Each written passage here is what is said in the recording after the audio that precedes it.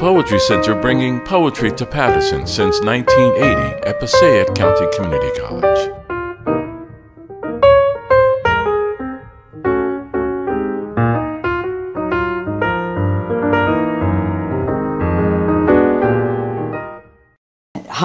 Glad to welcome you here this morning. Uh, my name is Maria Gillan, and I'm director of the Poetry Center here at Passaic County Community College and of the Distinguished Poets Series. Um, today, we're very pleased to welcome uh, Diane Wakoski uh, as our featured poet. And uh, Diane has a new book out called Emerald Ice Selected Poems 1962 to 1987, and it's published by Black Sparrow Press.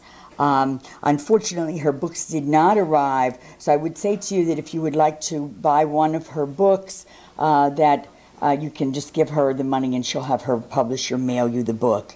Um, this is the second time that Diane Wakoski has been um, at uh, in this reading series. Uh, she was here for us about maybe five years ago, and uh, I was so pleased by um, the reaction of the audience to Diane and uh, by the kind of the genuine um, feeling that comes across in her poetry, uh, by the intelligence and the passion that she manages to weave into it, that I decided I was going to have Diane come back uh, again uh, for my for our audience. And I thought there was a very interesting um, statement about her work, uh, which was published recently. And uh, it said, hers is a crafty sensibility in which the chill of wine and strawberries mix, mixes with a daunting self criticism. And I think I remember hearing Diane read at the Geraldine Dodge Festival and thinking that that poetry is a mixture of the ability to use language uh, in, in a beautiful way and the ability to be totally honest and take great risks. And I think that that's what Diane Wakoski does in her poetry. Um, let's welcome Diane Wakoski.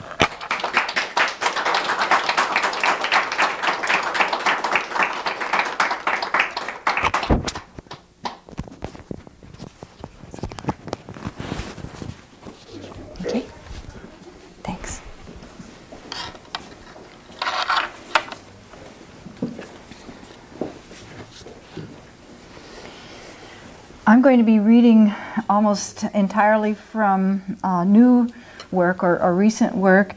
I've, I've for several years now been um, thinking about a poem of the West because I come from Southern California and even though I lived in New York for 15 years and now I've lived in the Midwest for 15 years, uh, I think of myself as a Westerner, both as Western America and Western in the sense of Western civilization. And like everybody else in the world right now, I seem to be wanting to write an epic poem, uh, but um, uh, I don't know how epic my life can be, and uh, um, so we'll see what happens with that. There's several focuses. I finished the first collection, which will be published this fall of this uh, big work, um, which is my general title for it is The Archaeology of Movies and Books. And my feeling is that I'm trying to dig down into uh, my roots or the roots of my civilization and myself. Um, and certainly my own history comes out of movies and books as much as anything else. The first volume, which will be published this fall, is called Medea the Sorceress, because I've taken the story of Medea all my life as a story of myself in some way. I've tried to use ideas from quantum theory about uh, the possibilities of the universe in constructing this work. And another one of the ongoing metaphors that I use, which I see as tied into um, particle and wave theory and light and so forth, is um, the image of photography. My husband is a photographer, and I think a lot about photography and as a result of just simply being exposed to his work and workings.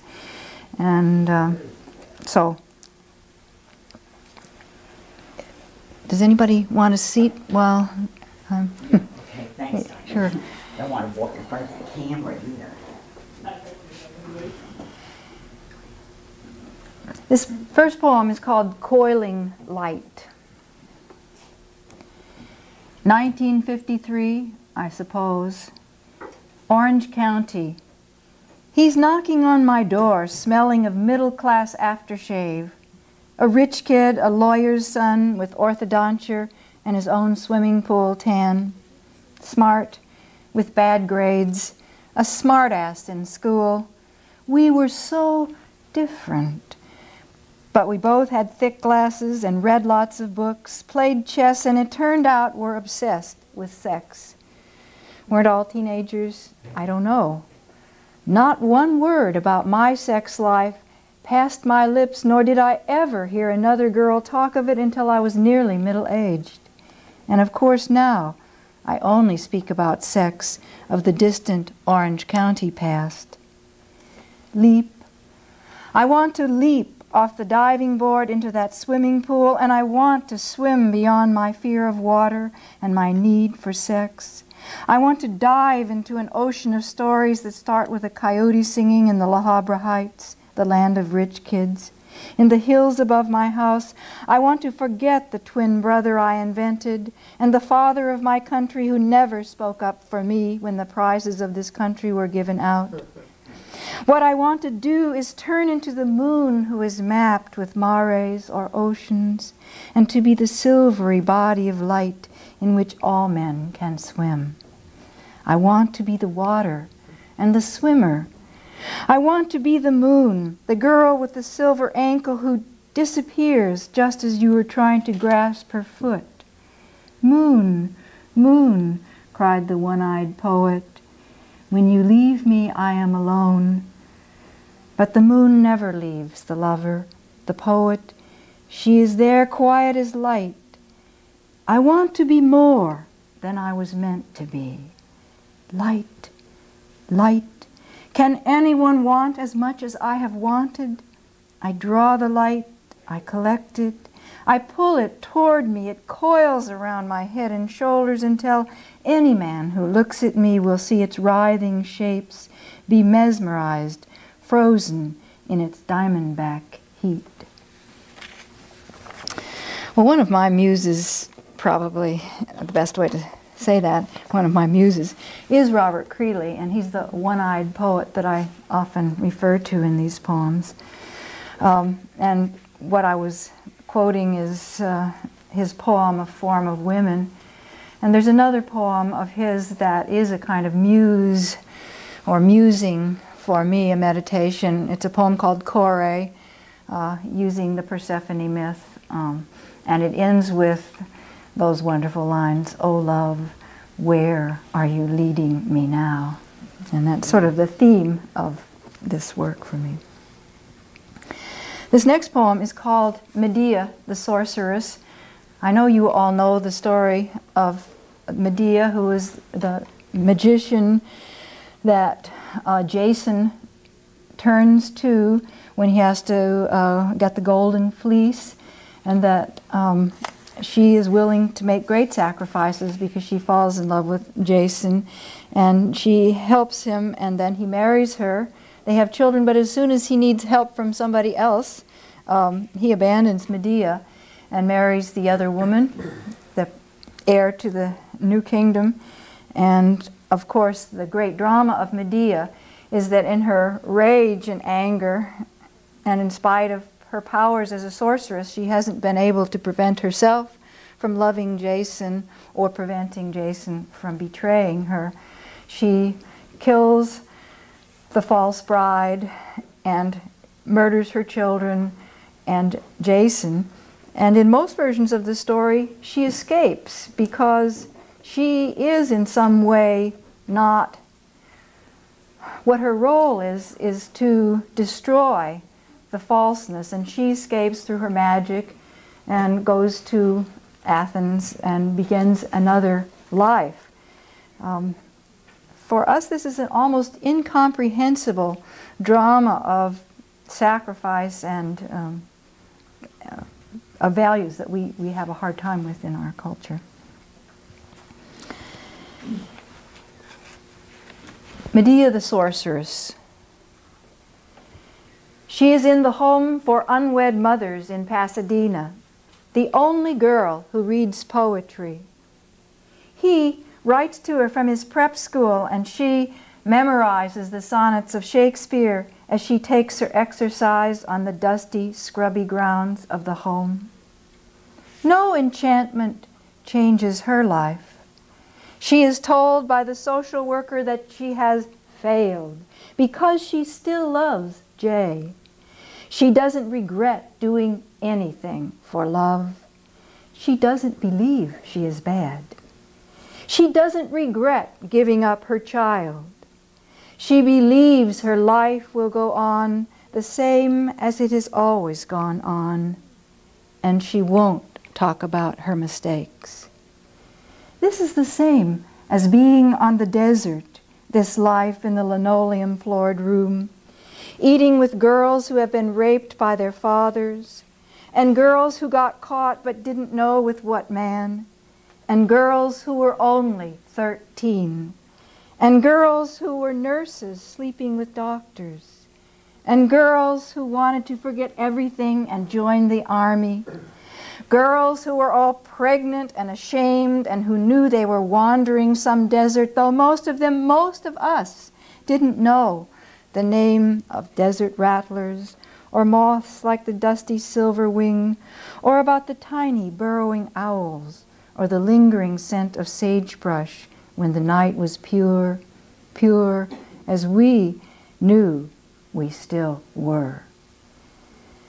So as if she were Medusa, excuse me, so as if she were Medea, when the letters came, talking casually about his dates with other girls unpregnant girls.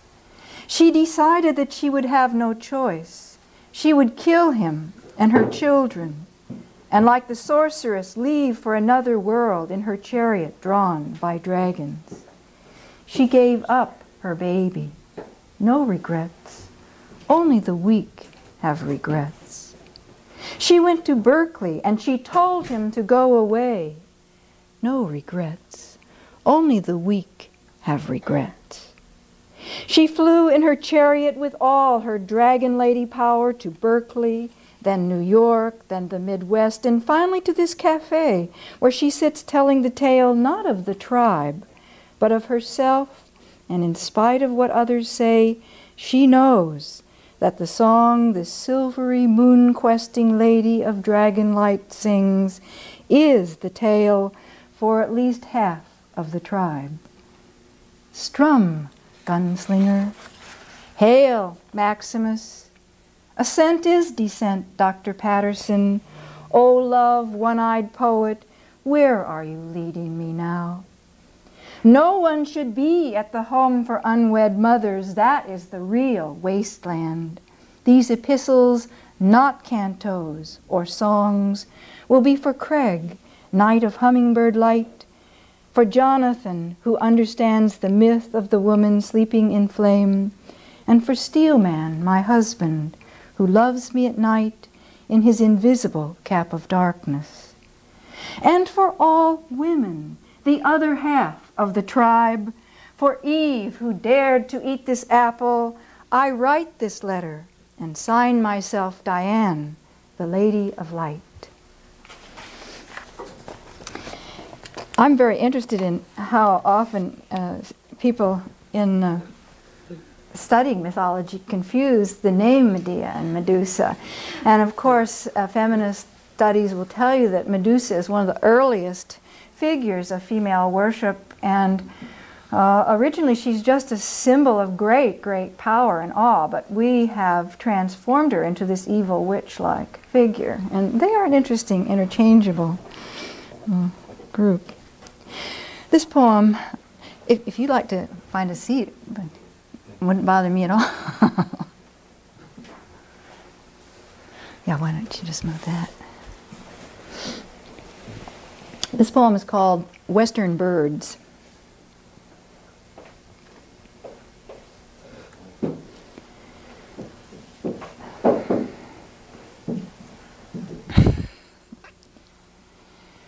No one is with me driving the highway into spare Wyoming in this car, which holds me impersonally the way a movie star holds another actor, and makes me think of how I look behind the wheel, a woman in her late 30s, tanned and gleaming with American beef and fresh vegetables.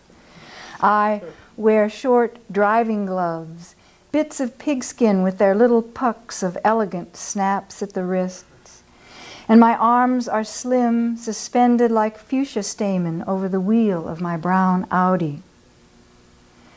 What bad eyes see is silhouettes, and we have memorized details to go with those shapes which are radiantly acute.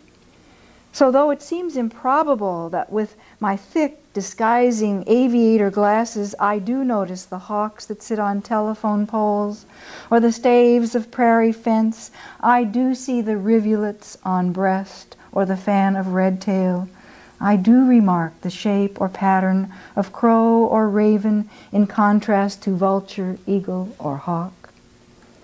The road leads me like a rattlesnake curving in rhythmic undulations, the hiss of my tires singing me away from apple trees and cherries, to Yellowstone and buffalo, to geysers, to the Tetons that only look like decorations. I never forget there was a Jason I never forget fleeing from California and the West beyond snake worship to the magic language of riddles and spells. I know that I left the garden of Orange County with only three of those golden fruit in my wallet. And when I return to Las Vegas, I pull and pull the handles of machines trying to line up cherries or oranges or plums whenever I can. I tell you, though, no sorcery will save you from the major rules. And if it seems to, then you have only misread them, misheard them. Aeneas is supposed to return, golden bough or not, and Medea to escape despite fratricide, infanticide. Stories cannot be compared quantitatively. No fairness ever if you compare how much or how long or who gets what. The rules are about the patterns, the stories, completing the cycles or rhythms. As any gambler can tell you, if you bet on either pattern, patterns or randomness, you lose. What you have to observe is completion. And usually, not enough, not a big enough sample is possible ever to see it. So you are radiant when you win and silent when you don't. You never lose sight of something diurnal, a rhythm perhaps, or a story. Following this road in Wyoming, which is empty of everything but my car and the hawks on the fence posts, is the quest. Not even dreaming yet there are other seekers on this empty road.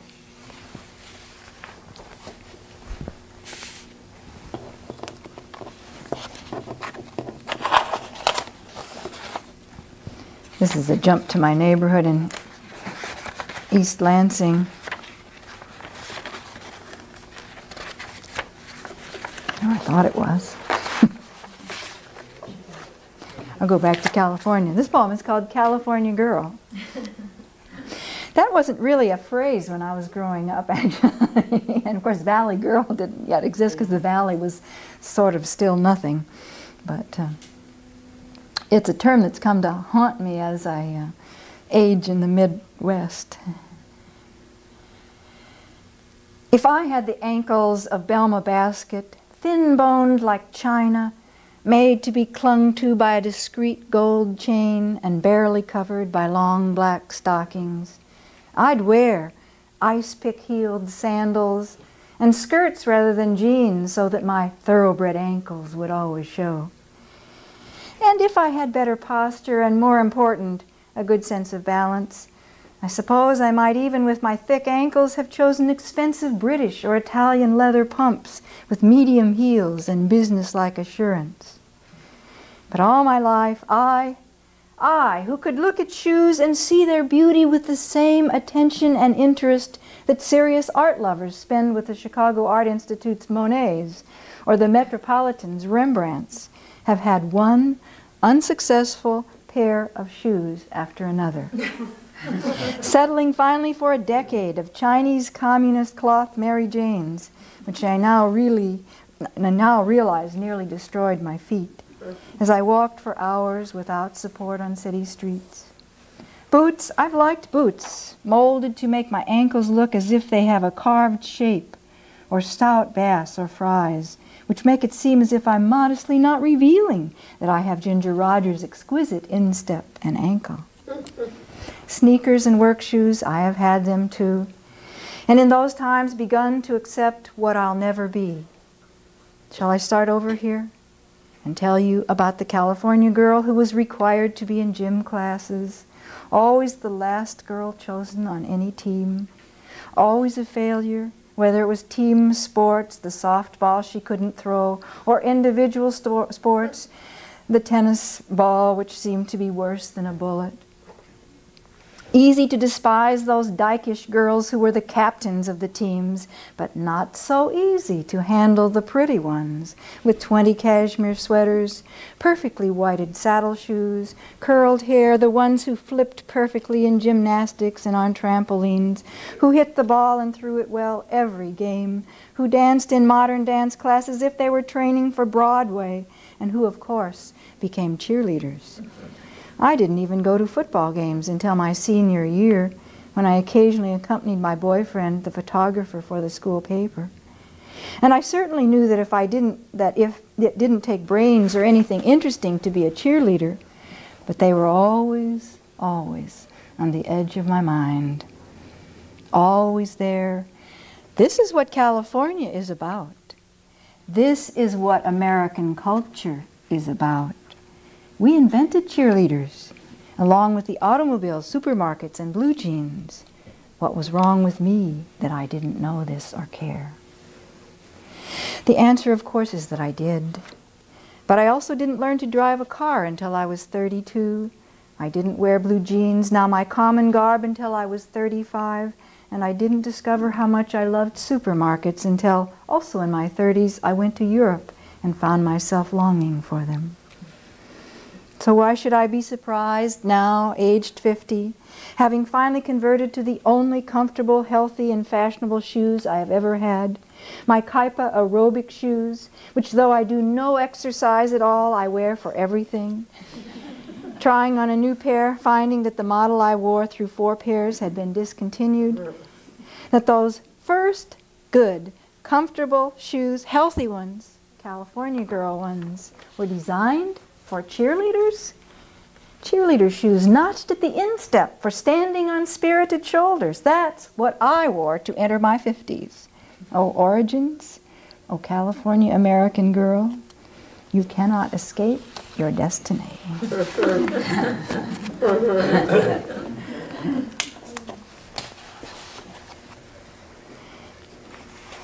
I suppose what magic is really about is trying to escape your destiny. And it's always interesting to me that in all the archetypal stories, the magician basically can never change destiny. Um, this is called When Breakfast is Brought by the Morning Star. When breakfast is brought by the morning star, she is imagining that she is writing a book with white pages, and that her coffee, which comes in a thin cup, will taste like raspberries. She has been a lily all night on a pond, and her white petals fold into a cone as she sees the morning star who delivers the Wall Street Journal folded on the tray with the china cup and the silver pot. Water lilies, she thinks, but she doesn't write it down. And morning glories. The book is open on her lap. Her thick satin nightgown is folded around her. Raspberries with cream would be nice. Her husband is sleeping and on the pillow his gardener's face, tanned and earthy, moves slightly with his morning breath. He and she dream different things, but both wake up against petals. Both drink a clear glass of water, both descend the stairs and find the morning star has brought their steaming cups, the fruit, the grain. Sometimes I miss the obvious, but often the water lilies break open in the sunlight and the pond poses for Monet. And when I stand still, I notice all the mistakes I have made. I notice also that I could live forever and never live my life differently. I still long for all the things which seemed so elusive and which I made so many mistakes trying to find. When I wake up in the morning, there is for a moment the sense that everything is possible, that I can rewrite my life, that I can be a different woman. But then the morning star serves breakfast, and one sip, whether it be a dark, fragrant tea or a rich, oily cup of dark beaned coffee, one sip, and I know that my life is the same one I've always lived. New day. New day doesn't mean new life. It means that you continue to work out newly each day the story you were always destined to tell.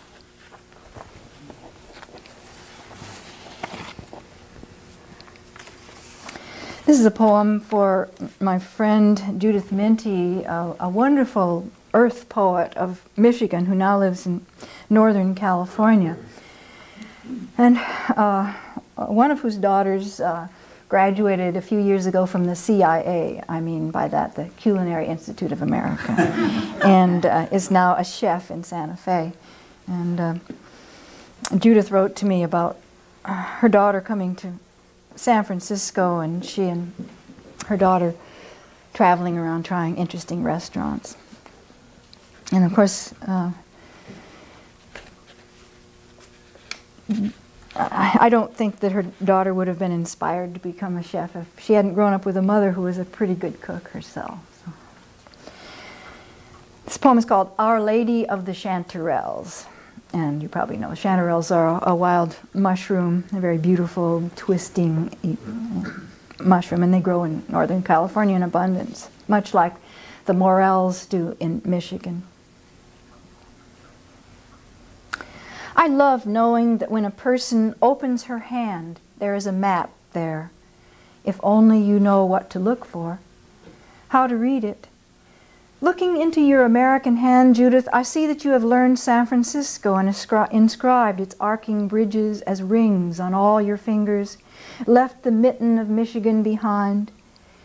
You're driving your daughter, the chef, over the Golden Gate into Marin County, on your way to white tablecloths and daily roux, drinking those nectary Chardonnays and wondering about how much more at home you feel in Northern California with baskets of chanterelles and hedgehogs rather than the wrinkly, brainy morels of your own state. I could say the map was too unevolved here in Michigan, though there is no Pacific Ocean with its primal salty broth to remind me of what is not beyond the oak trees in my backyard. The map of this state is a mitten, a throwback to the first opposable thumbs, no dexterous, articulated fingers to accompany them, no chef's hand so skillfully trained as Annie's, no eye for beauty like the one that she gets from you. I've always thought it's kind of dumb to say that the eyes are the windows of the soul. I actually judge people by their hands. But my husband, Steelman, who photographs people's eyes unflinchingly, won his second Nikon in a contest called The Eyes of Laura Mars. In the dappled light of the Ala Moana shopping mall in Honolulu, he offered his photo of your daughter, Judith, who was then a teenager a newly converted vegetarian who cooked all her own food separately from the rest of the family.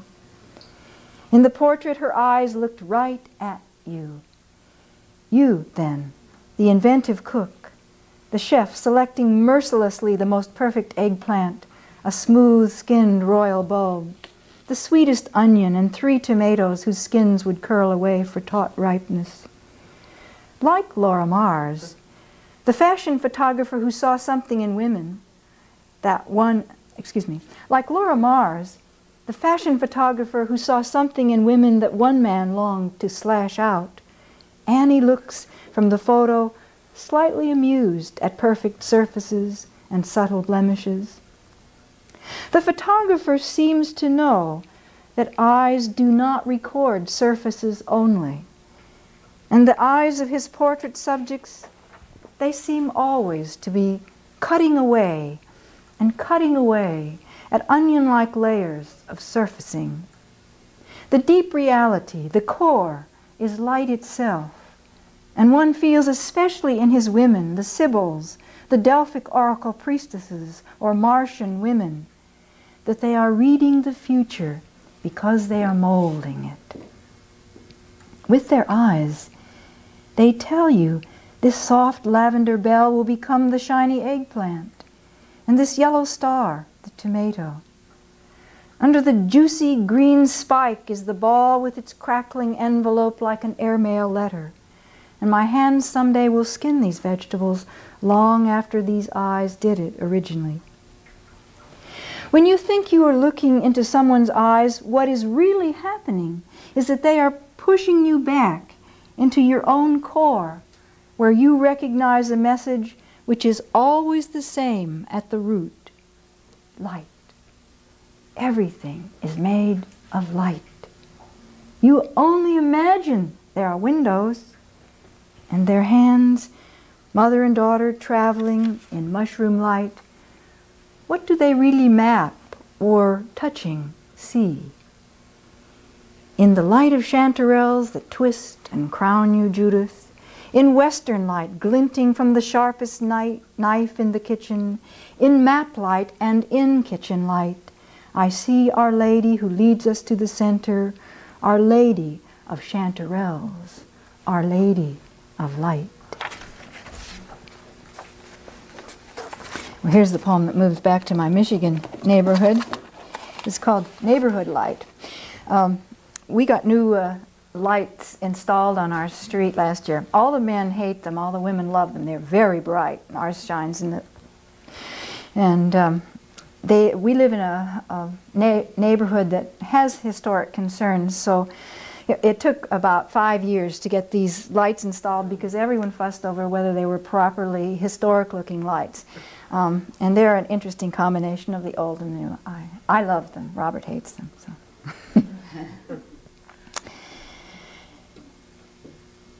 Neighborhood light. The fat woman whose husband beats her and who lives down the block from us lives in darkness much of the time. Now our board of water and light is installing new lamps in front of our houses, and she stands there in the yard where her purple crocuses are covered with a thin film of snow and watches the hard hatted men get ready to bring light to our small neighborhood. But she, like Persephone at this time of year, isn't quite out of the darkness yet. No April light in her tightly shuttered house, whose small wooden squareness must squeeze her huge hips and leave them more bruised than her husband does. I see her standing there on the handkerchief lawn, looking puzzled at the lights, the globes, the workmen. She isn't Persephone. Light and dark are the same to her. She is the mother of two very young children who visibly have different fathers. No mother ever pulled her back from the dark underground of her fat lady life. And no lover like Orpheus ever thought to rush down after her and kiss her out of viper sleep. The myth of women with their healing powers and their gifts for regeneration, she has been sheathed against it. She's not a woman locked down in her dark little house. She is, what is she? She has hidden her sex in fat. She lives puzzled by light. She has children to serve her she chooses a bad husband, one who could not find a woman. She is a disguise. Don't pity her. Pity her children, and pity the child in her, who also never knew a woman, a woman for mother. Pity the long line of such impure products. I turn away I turn away. One rescues because of overwhelming love. I do not have it. I could not go down underground for her, having already stumbled blindly and raggedly through my own winter, to only just now see the April light flooding through my house. Never would I have the strength to go down in darkness again. Never have the strength twice to bring myself back out of the dark.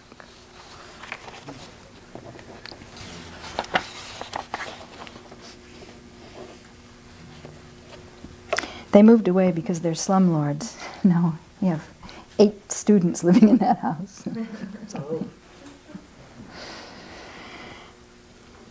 I've gotten very interested in teenage movies. I suppose anyone who grows up in Southern California has is stuck. I don't know. Um, any rate, uh, this poem refers to movie stars. I don't know whether that means anything or not. It's called Men's Eyes. When there is something in the air which makes you turn around, which makes you think someone is watching you and no one is there. You think of all the movies you have seen and loved, the men you'd like to have following you or waiting for you as you tap tap along the street on your way home. In my living room was a motorcycle and the man in black leathers who once rode it waiting in the dark, smoking a lucky strike, reading Williams' poems from memory. Behind the door of the bedroom was the secret of his departure, a ticket to another place, and I only imagined him sitting there smoking, waiting for me to unlock the door. One of the things successful movie stars always have is a way of using their eyes. It draws the camera to them. You, the camera, are always drawn to their eyes. John Cusack has beautiful eyes fringed with lashes that make you want to be held and cuddled by him, as if you were an animal and he a loving animal owner. Tom Cruise's eyes always seem to be looking seriously at the world and slightly making fun of it, drawing you into the secret of what he sees. He knows how to use them so that you feel as if he is including you, the viewer. Patrick Swayze has hawk eyes, like Glenn Scott and Clint Eastwood. Excuse me, Scott Glenn and Clint Eastwood. They seem to be tough surveillance eyes, steely and never sharing anything. They seem intact, inviolable, and infinitely courageous. You want to possess such men because you know they are unavailable. You, the viewer, are drawn into them knowing that they will lead you interesting places even though you could never really be a part of the adventure. The man in the darkened living room, unlike the King of Spain, who is that secret follower, has eyes like Tom Cruise. He seems to be saying, Share my secret. It is the absurd universe. But when I unlock the door, he is not there. The whole apartment is empty. If I were in the movies, there would be someone watching me as I tap down the city street. But in my life, it could only be the King of Spain. No man in motorcycle leather sits waiting for me and the steely hawk eyes I look into and myself follow belong to my husband, the man for whom I barter everything just for a touch.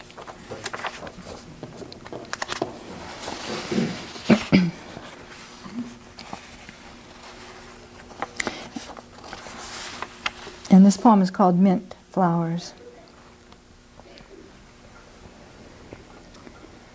The crush of lavender this summer, the lushness of everything, even the modest flowers tipping each stalk of mint, crowds into the morning and more like liatris or loosestrife.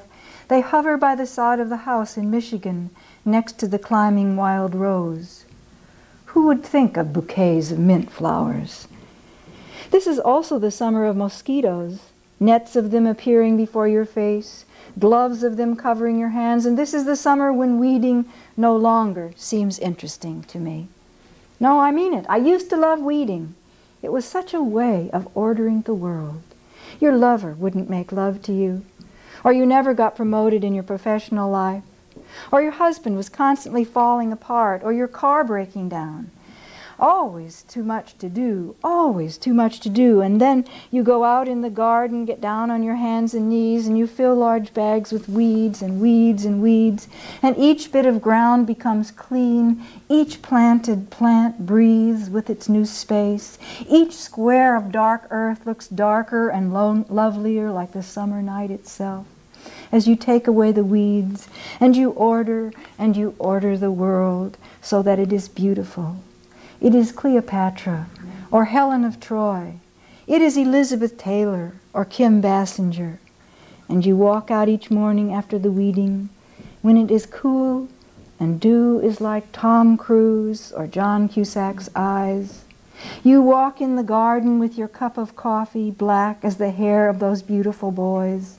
And your newly weeded garden is those beautiful women who never face death, or a sink full of unwashed dishes, or jobs they hate, or lovers who are impotent or bored by sex. But this year, I no longer find weeding the satisfying act that I know it can be. Perhaps the vegetation is so lush that there are more weeds than planted things. Or is it that I get older and am reluctant to cut anything so full of life, so growing and burgeoning, though crushing the mosquitoes gives me not a qualm. Am I fat or tired or lazy, or is my garden different this year? These almost bouquets of mint flowers floating tall outside my window. The millennium is coming, and the Washington Post tells me we have all the technology and resources we need to clean up our air if we'd spend the money to do it. Did I take the wrong turning, as Jeffers thinks that all the human species did? I mean a different, personal, wrong turning so that this summer I can no longer order my life, clean it up, make it as perfect as a movie by weeding. Am I no longer Rapunzel, my long hair gone? Now her keeper, the old witch, hacking off the rope of hair so no prince could ever again climb it looking from my tower at the delicious arugula in the garden, overtaken by wild growth, and not even willing or interested in weeding it out.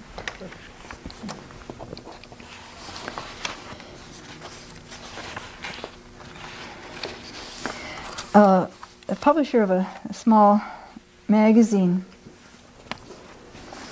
uh, who is publishing a section of these poems um, under the title Coiling Light and uh, was giving credit to the title of my new book, Medea the Sorceress, said to me, Wow, what an interesting pun just occurred to me. Med- media, because M E D E A, M E D I, media, the sorceress in our time. And I thought, oh, I have to see if I can't write a poem with that title. So this is what I wrote. This is called Media, the New Sorceress. And of course, it's dedicated to Robert Creeley. Who else? Muse. How I have bragged all these years that I do not read newspapers or watch television. How I've opened my hands filled with moonlight and found only human palms which stretch into winter on the desert. But I am still the California girl who grew up thinking life was the movies. My neighbors in Michigan make their cactus bloom, but even when I drive through America looking for hawks on fence posts and the flowers of prickly pear and barrel cactus, teddy bear cholla or ocotillo, I find only myself. Always thinking of the one man for whom I gave up everything, my Jason, who laughed at me when he left me for another woman, saying I had misunderstood why he loved me that he only needed my magic, that that other goddess, that slim footed one, had made me love him so much that nothing else mattered. I was blinded with love. These thick lenses, which have always covered my eyes, they have hidden the real story from me, but given me the power to see something every Hollywood fan could tell you is obvious that we are the roles we play. We become the words we speak. Oh, silence, silence, or is it only white noise? Steelman pumps iron, and I guess I pump light.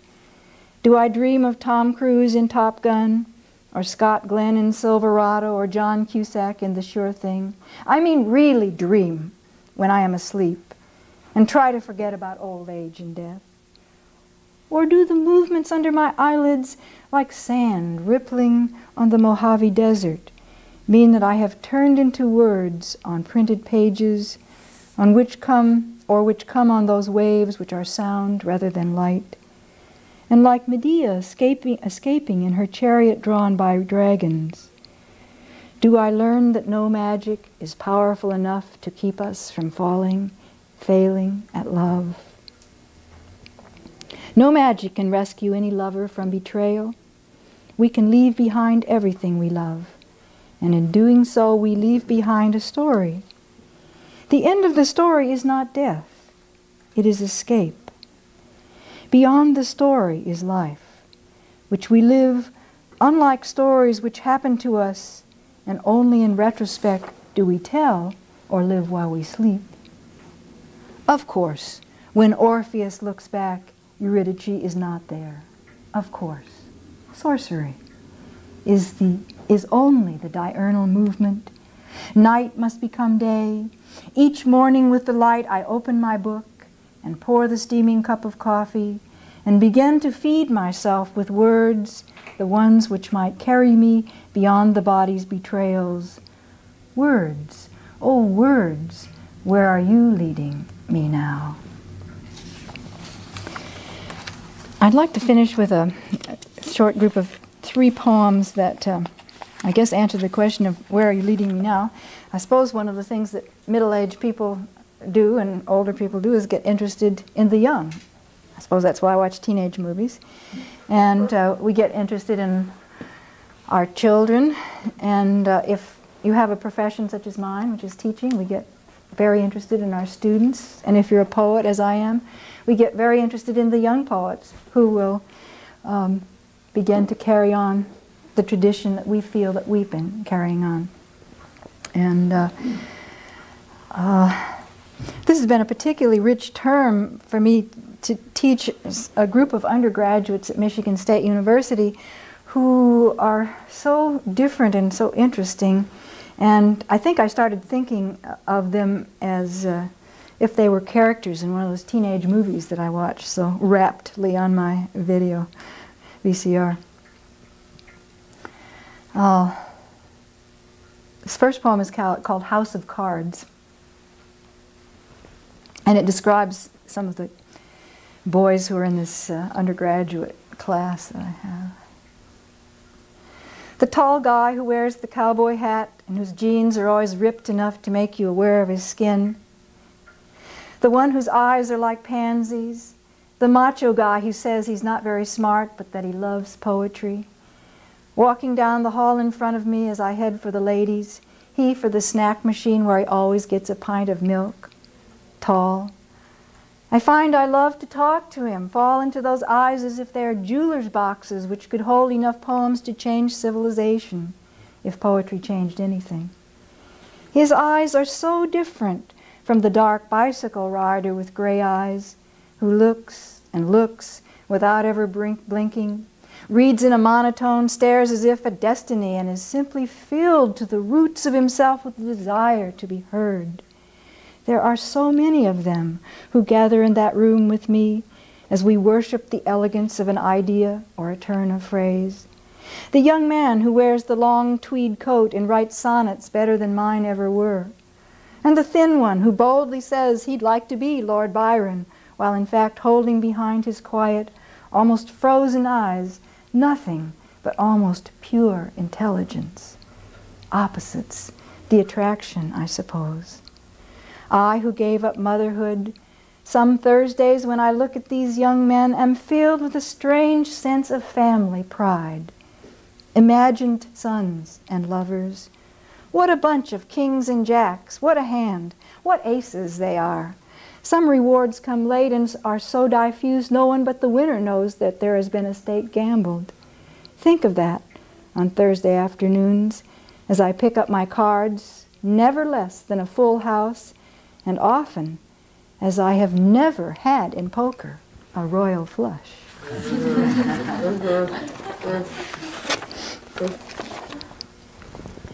and this one is called Full Moon Eyes. It isn't that I didn't want to like you. I always wanted to like you, because in your cowboy hat and torn jeans, and with your very polite, almost cowboy polite manners to me, yes, ma'am, you were likable. But I didn't want to feel the way I do. That those eyes, which are almost like girls' eyes, like flowers, like horses' eyes, maybe, as seen by Jim Wright, which looked straight at me with such belladonna innocence, no macho challenge or even that kind of cool or contained gaze I expect from handsome men. I didn't want to feel as if I could fall into them, as into a well or an abandoned mine shaft and be lost. It's not love. It's definitely not what I feel for my husband or what I felt for my first lover or the motorcycle betrayer or for any man I can think of, that strangely long procession through my life. It is not what I would feel either if I were your mother, something I cannot even imagine. Sometimes I think when you walk into the room that it is an actor playing the part of someone with your name, and I realize I have no idea if you exist. But then you say something, and I look up into those eyes, yes, as if I were looking up at some racehorse, such a different piece of flesh than I am. And as Whitman says he could turn and be with animals, and as he too thinks particularly of the thoroughbred stallion, I don't find myself mesmerized either. Just standing there rather like Whitman, I think, admiring something, being drawn into it, and then instantly imagining myself exhilarated with its speed, which becomes my own. What I didn't want to accept is that I think about your full moon eyes all the time, even now, as I sit here in the dark and without knowing anything about your life. I don't want to feel this, watching for the morning light as the tangled bare branches of winter lace themselves against the shadowed but still dark early morning sky. And the last poem is called Red Silk Scar. Wearing his long coat, he walks into the room. I expect that he will be carrying a skateboard, but he is not. I know that this magician must have in his pocket silk scarves which with long fingers he will pull and pull out and out. No silliness like white rabbits or the accoutrements of aristocracy, black top hat, morning coat, or tails. I know he wouldn't be cruel enough to carry snakes in his pockets, but I know that he controls me with his hands, which know how to touch lightly anything. A stone and a drop of water will appear. My desk and a small green frog will be sitting there. The cardinal red scarf which he draws out of his pocket and convinces me it must have my name on it. There is nothing I can say, though my lips ought to be able to ask him why he doesn't love women so well as men. I could never ask this question of any man, which is why I write it down and write it down with my red inked pen as if I am being punished for a schoolgirl failure. You have to look far back into the past to find women as sorcerers, and even then they have often been rewritten into false beauty, their snaky heads covered and disguised, their talon hands sheathed with silk and jewels. This young man walks by me in his long wool coat and engaging smile. I smile back. Maybe he already knows we are both magicians. Maybe he doesn't. But that is what I am here to teach him.